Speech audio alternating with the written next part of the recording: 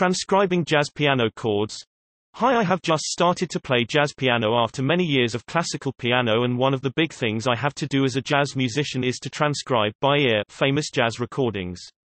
When I am transcribing, many jazz pianists play chords and I am having difficulty playing the exact chords that they play.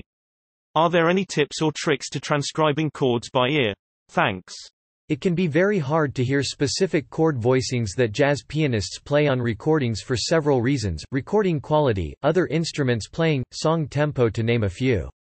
What I would suggest is start by knowing the harmony of the song first. If it is a standard you can probably find it in a fake book. If not then try transcribing just the harmony, not the actual voicings themselves.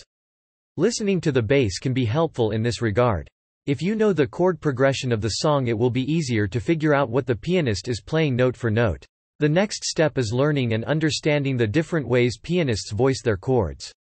You will likely need some help with this, either a jazz piano harmony book or a few private lessons with an accomplished player.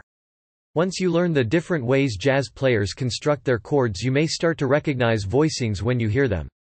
I am curious to know which recordings and what era of jazz you're working on because there has been much evolution in the way pianists create their voicings over the years.